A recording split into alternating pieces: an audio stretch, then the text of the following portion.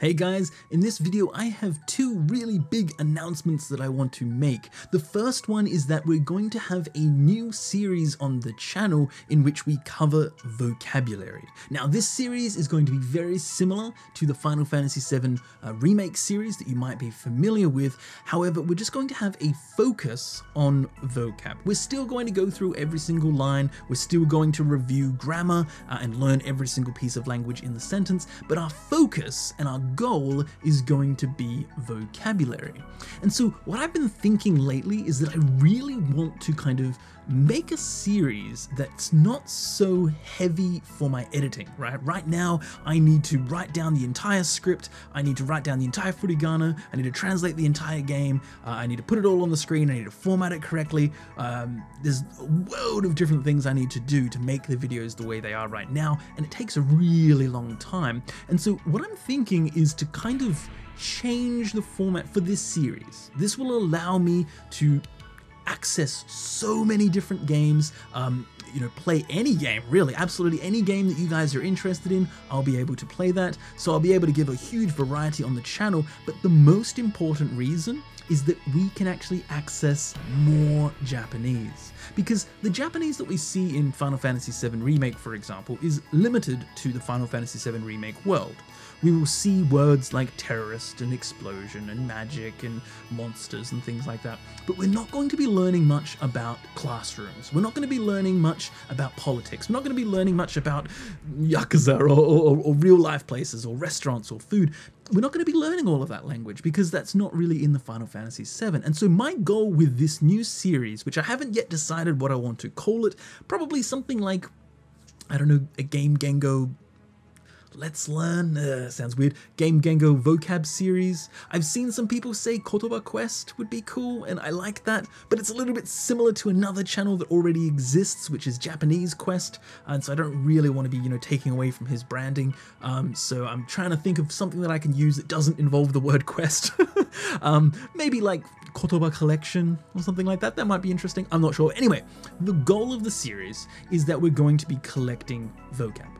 So we're going to start all over from scratch. Now, this is going to be the only time in the entire channel's history that we're going to do this reset, okay? The reason why I'm going to reset our known vocab is because I started to create the Final Fantasy VII Remake series um, with really just thoughts on just doing that. I wasn't thinking about making any other series or really any other videos. And now my ambition for the channel and goal for the channel and hopes for the future are much bigger than just Final Fantasy VII Remake. And so it would be weird to kind of change Final Fantasy VII Remake, the story, the way it is. Right? It's, it's really its own separate thing. It's kind of a love letter to Final Fantasy VII. We go through translation and all that kind of stuff.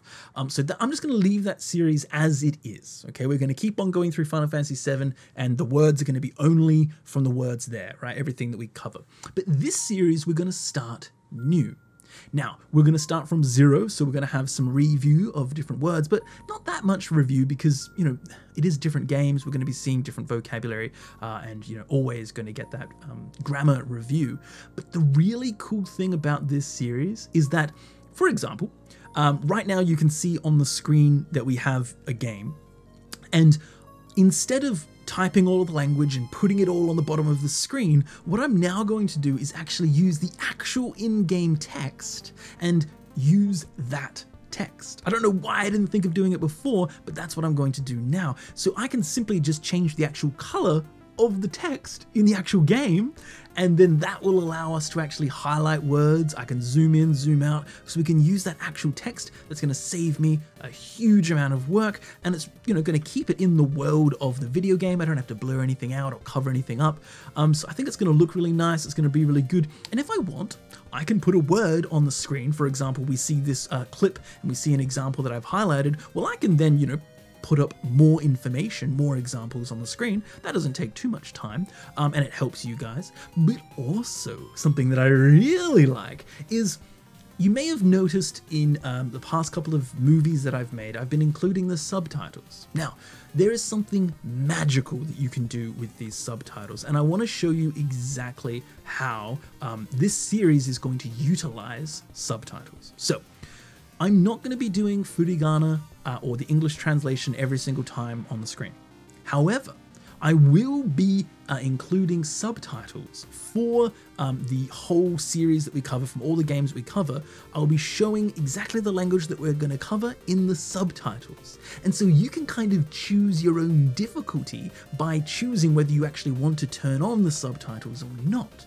This means that if you see a kanji, um, for example, here we have an example, and maybe you don't know how to say that kanji, right? You don't know how to read that kanji, and if you don't hear me correctly, you're not learning. So what we're going to do to fix that is right here, if you just go, for example, in this video that I have from Final Fantasy VII Chapter 3, if you press uh, play in a video, so this is a, bad example because I have done the furigana. I've put in the days and days of work to get it to work. But this new style, all you need to do is click this subtitle button right here and then turn on the Japanese. Okay, so now you can see the Japanese. Cool. But that doesn't really help you much, right? It's the same Japanese. Wrong. All you need to do is download the browser extension. There are two really good ones. One is called here Rikaichamp. This is great, but even better than Rikaichamp is Yomi Chan. Now, Yomi Chan is freaking amazing, okay? And I'll show you why. So just by highlighting the mouse over this word, and then just holding down the key or whatever, you can do highlight, you can set it up however you want. I've done it to shift. Just by holding shift, I can now see the definition for that word with the subtitles. okay, so I can see the definition, I can see the reading right here, it's hotondo, right? For example, here I don't know what this word is. How do I say this word? You just highlight it and you can see that it's skull. And you can even see a definition. It means to use, to make use of something. Oh my god. So now you're actually able to access the language in the video games that we cover. So it doesn't just have to rely on what editing I do to give you that information. You can be in control of that information. You can be in control of the English, the, the furigana, and everything. So I think this is going to be a really exciting and interesting way um, of you know continuing the vocab series. But it doesn't just end there. The amazing thing about this application, this uh, Yomi-chan um, browser extension, is that you can actually make Anki decks with the single click of a button. And it's incredibly easy. All you need to do is install Yomi-chan into your browser, okay? Then uh, in Anki, all you need to do is go to the add-ons right here and install Anki Connect okay? The very, very easy add-on. Um, there's no, it's not difficult at all to get this add-on. You just install Anki Connect to your Anki and you install Yomi-chan to your browser. This will now allow you to just hover over the word and now you see these two new buttons appear. All you have to do is click this big button and it will add the whole word with the kanji to your Anki deck automatically. Instant, okay? So for example, let's do it right now. Let's go to Skull to use, and we're just gonna add a card. Boom, done. So you can see now that it's grayed out, okay? Now it knows that we have that card already in our deck. So you can actually use this to collect language for yourself, so actually see what words you've learned, what words you don't, to make Anki decks, uh, Anki cards. And so this is a very simple and useful way to actually make use of this vocab series, okay? And so I'm going to be making the episodes with the kind of assumption that everyone's using Yomi-chan um, to be able to do the readings if you want. But if you're using your phone and you can't use Yomi-chan, that's okay. You can still turn on the subtitles uh, and see the text on the screen if you want, or you can just go with whatever I have for um, on-screen explanations. But this, this will just enable you to really access that language, touch that language, use that language. Um, you can copy this. You, you can now, you know, copy and paste. Um, it's an amazing thing. You can also automatically make Anki decks with subs2srs, the program. If you don't know what that is, I highly recommend uh, looking that up on YouTube. There's a ton of resources on how to make uh, decks with it. It's really simple. All it does is it just uses the subtitles with the video file and then automatically generates um, a whole Anki deck from that one piece of subtitle and video. So you can do so much with these subtitles. And so that's what I'm going to be including in this video series so that you can have and access the language. So already that sounds pretty good, but it doesn't end there. So, thanks to an absolutely amazing man on our Discord server, Elro, this wizard has created a database of all of the language that we have in our videos. Okay, so it's pretty much like a website for Game Gengo, but it's just in a spreadsheet. It's freaking incredible. So let's have a look here. I'm going to be sharing this with every single video so we can see exactly, um, you know, what language we've covered. So here we have uh, the front page for the Final Fantasy VII series. Now, as I said, Final Fantasy VII Remake is going to be a separate thing from this vocab series, okay? So um, we're going to have a separate spreadsheet for the two series. But this is Final Fantasy VII Remake that we've got. And so here we can see uh, the kind of overview of the series. So we have this is chapter one, here's chapter two, here's chapter three. We can see the episodes, episode one, two, three, four. We even have a link to that episode, so we can just click on this link and go straight to the episode. We have the duration. We can see how long the episodes are. We can see the Anki deck that is attached to that episode if you want to download it for yourself, if you don't want to make your own. We can even see the rolling total of the words that we've been learning along the way. okay, so already it's incredible. Next, though, we have just this, just what? Like mind blowing amazingness. We have a formula here on the spreadsheet that counts all of the words and checks what JLPT level those vocabulary are. Okay, this is amazing because we can see here, for example, the last movie, we can see here that we have 12 and 5 words, 13 and 4, 42 and 3, and so on.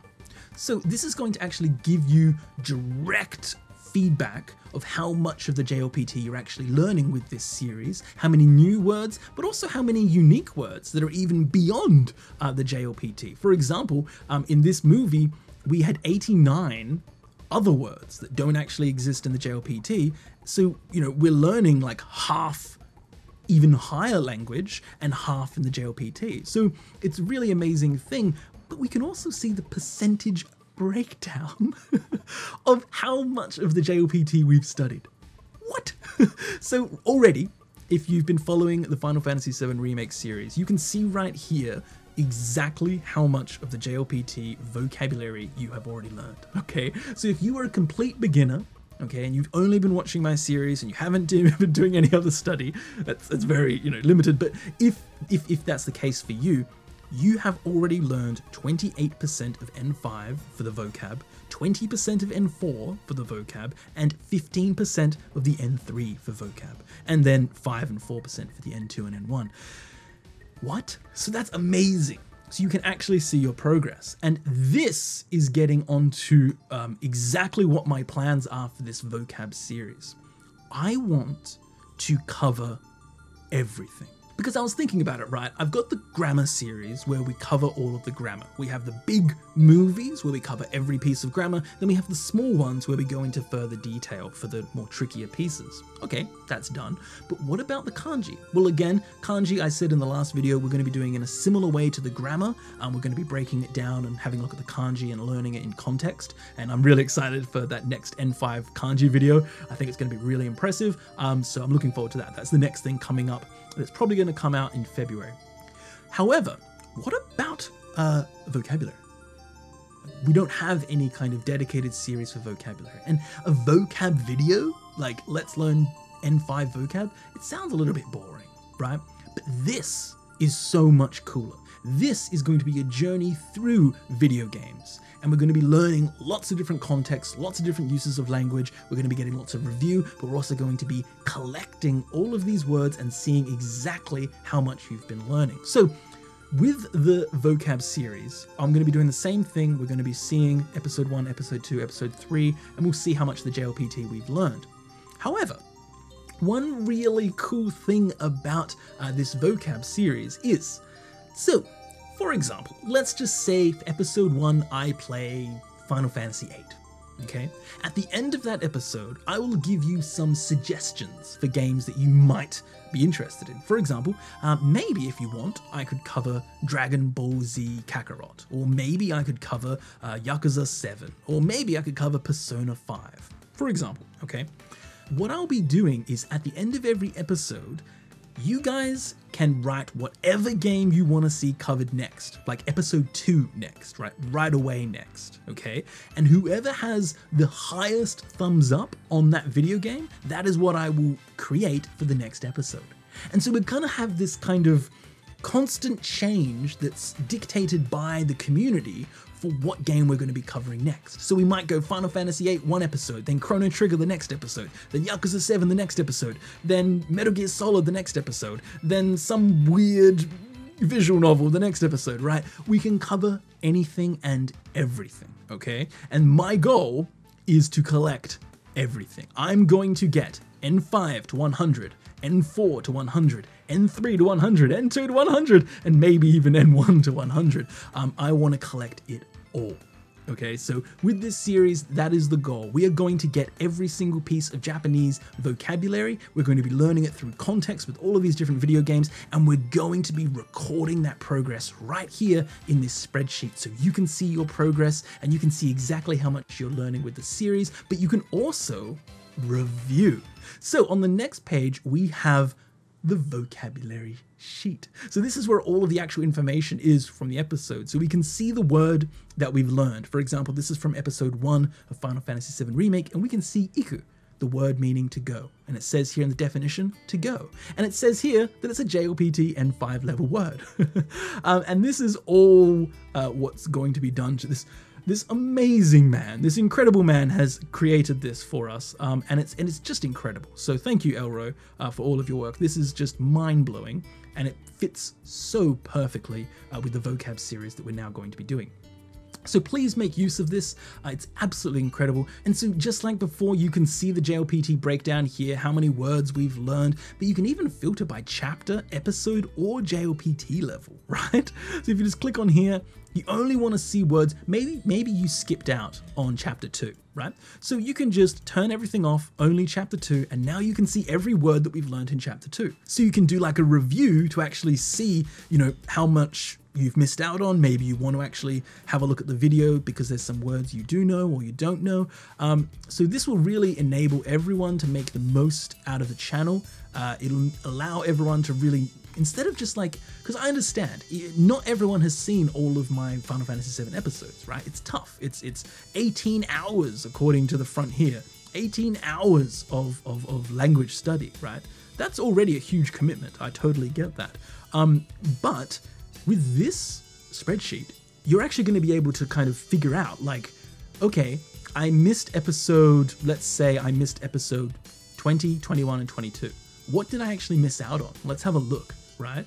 And here you can actually make that educated decision on whether you want to see that episode to actually learn some of this language or whether you just want to, you know, review here and be like, okay, cool, I'm ready to keep on going on with the series. I can skip those episodes because I already know all of this words.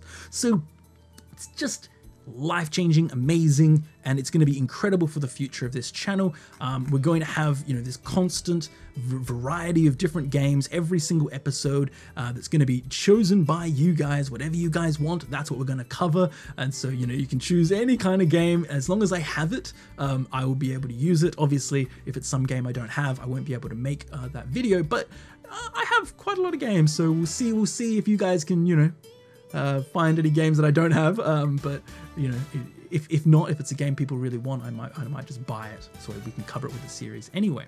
And so this is going to be really exciting, really interesting, and I hope you guys are all really looking forward uh, to this series. And please make use of this uh, spreadsheet database for Game Gengo. So thank you very much everyone for all of your support and I hope you look forward uh, to this vocab series. I'm very much looking forward to it myself. And now I just need to decide what game am I going to do first. I don't know. Maybe I don't know. I'm kind of thinking maybe Final Fantasy VIII. Oh, there's no voice acting. Maybe Dragon Ball Z Kakarot, just because it's something different. It's kind of anime. We haven't done that yet. Mm, we'll see. Let me know uh, in the comments below if there's a game you want to see covered first, and, and if I can, I might try and cover that game for the first episode, or maybe episode two. So, as always, thank you very much for all of your support. Thank you for enjoying the series, and I hope I can continue to help you learn Japanese in a fun way through video games. See ya.